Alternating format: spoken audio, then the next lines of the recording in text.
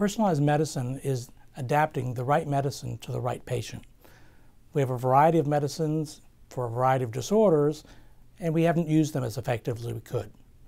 Now we're be better able to characterize patients as to the molecular etiology of their disease and can better select a medicine that's appropriate for them. Personalized medicine has evolved in several areas, but it's uh, well developed in areas such as lung cancer. Uh, lung cancer was previously described, originally described as a disease affecting miners uh, back in the 14th century. That didn't evolve much until the chest x-ray was invented. Now we know the molecular basis of lung cancer um, and we can describe it with some precision. We know the genetic alterations that take place within the tumor that allows the tumor to grow, invade other tissue.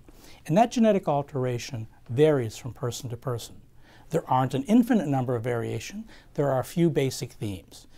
We have now we now know that the EGFR receptor and mutations of it are an important driver of some cancers.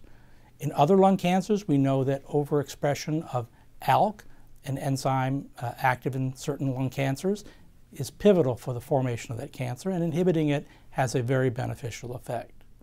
We now know even that some patients will become resistant to these targeted therapies, and we know the basis of the resistance. So now we'll, we'll be able to develop drugs that follow the first generation personalized medicine. So if that drug stops working, then we'll have another drug available to them.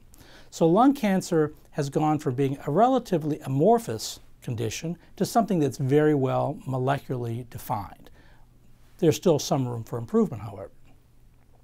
Other disorders, such as diabetes, which we've known for many, many years is very heterogeneous, has yet to be dissected into the root causes to the extent that we have, for example, in lung cancer. And so there's a tremendous opportunity for us to invest in research to better understand the basis for diabetes and how that varies from patient to patient.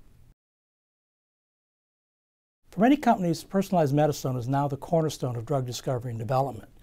As we've characterized the diseases better, we find new drug targets, which will deliver larger effects if we can alter the target in patients with those disorders.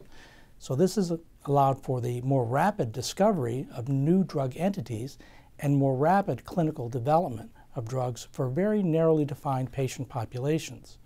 So while this effectively shrinks the market size, it delivers much greater value for those patients who receive the medicine because the medicine is very specific to their molecular basis of their disease.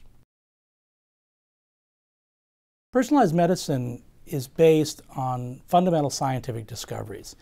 Without these, there, are, there will be no improvements in our understanding of disease.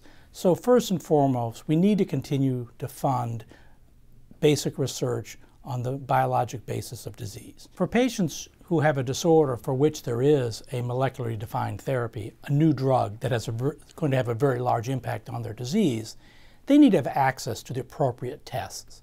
And there are two major barriers to this. First is physician education, so that physicians are aware that there are specialized populations that need a special test to identify them, and there is a good therapy for this subgroup. That's number one. And secondly, we need to pay for the testing.